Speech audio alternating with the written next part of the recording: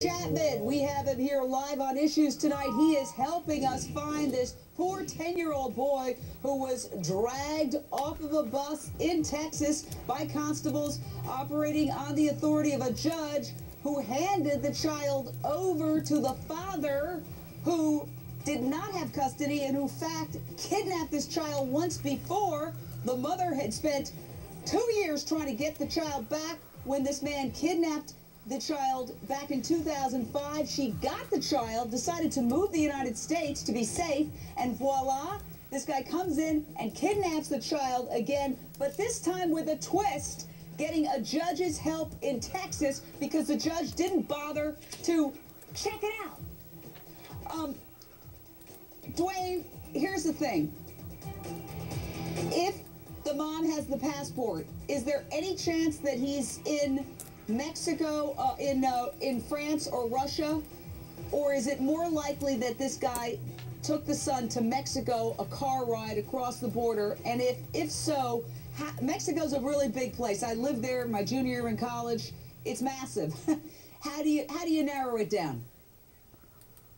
Well, the passport, first of all, you know, it's it's almost as easy as it, to get a passport, a fake one, as it is to get a fake driver's license. With a child is a little bit more difficult.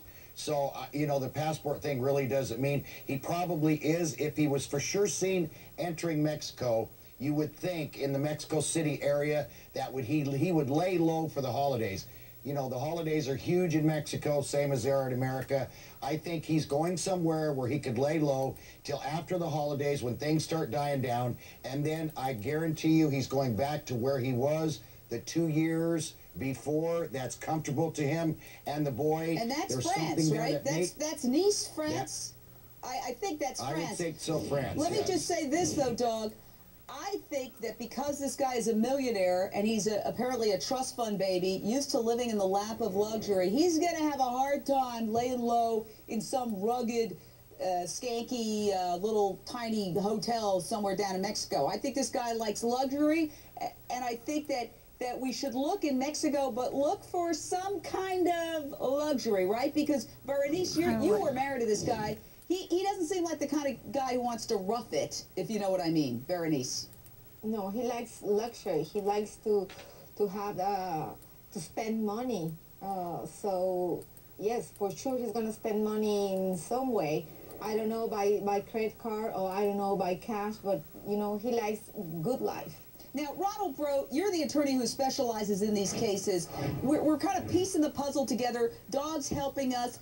Uh, what about the coordination between the U.S. authorities and the Mexican authorities to try to put the noose around this guy?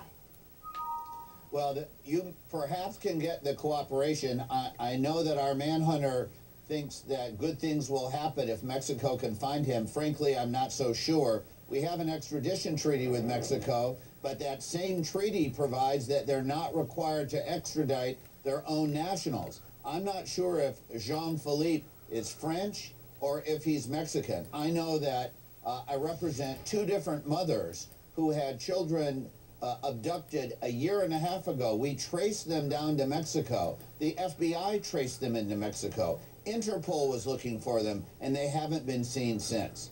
Well, you know, this is just such a mess. But I want to ask Mom, will you come on tomorrow and bring the picture of the Russian wife so that we can put that on the air and help narrow uh, this case.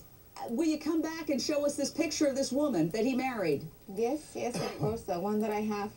You know, if you're not going to get the help you need, we're going to do it here on Issues, and we're going to just break this case down. And Jane, it's so important to do son. this, but it's so important to do this before they get to Russia. We have no extradition treaty with Russia, and Russia is not a member of the Hague Convention on International Child Abduction. We must find that child before he's taken to Russia.